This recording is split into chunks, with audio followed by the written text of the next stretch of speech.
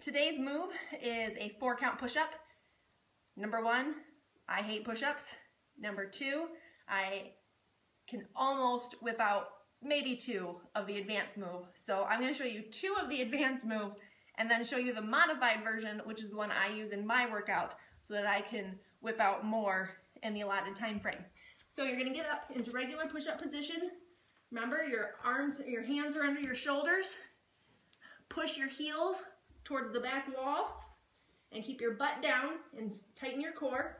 And we're gonna go down, two, three, four, up, two, three, four, down, two, three, four, up, two, three, four. And I don't know if you could hear it in my voice, but I was shaking throughout those two the entire time. So now I'm gonna show you the modified version. You're gonna get on your knees and make sure you have your toes on the floor.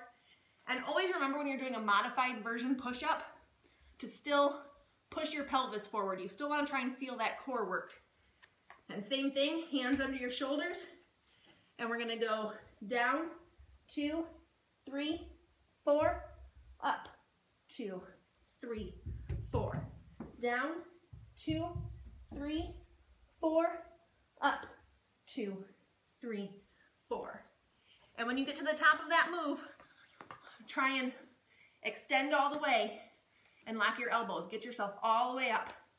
So you are the judge of how many you're gonna do today.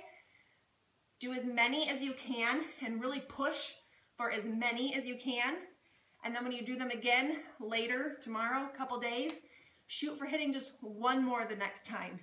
And then maybe the next time you do it, you shoot for two more than the last time. As you get stronger, you'll be able to increase further each time you do it. So just always keep pushing yourself, always have a goal in mind, and keep striving for your best. Thank you for watching. Have a great weekend.